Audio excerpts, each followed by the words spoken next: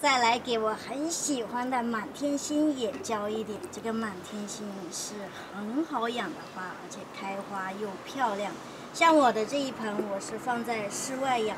之前我们这里一直都是这个长期的下雨天，所以我都很少给它浇水。如果是在阳台上面养的话，盆土好的情况下，就是说这个土的透气排水性好，那么这个浇水就可以比较的随意，就是不要让这个土完全干掉了，就是要让它是一种湿润的状态。因为这个草花都是普遍非常喜水的，如果缺水的话，它不仅长得慢，而且还长不好。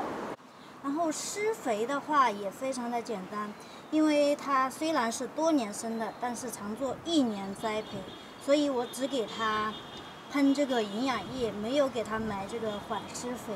营养液的话，在它这个生长旺盛期，基本上是隔一天左右就给它喷一次。当然，这个喷的频率高的话，浓度就要低。光照好、肥足的话，它长起来是会非常非常的快。我这一盆还是因为上盆比较晚，所以它现在还没有形成一个球的样子。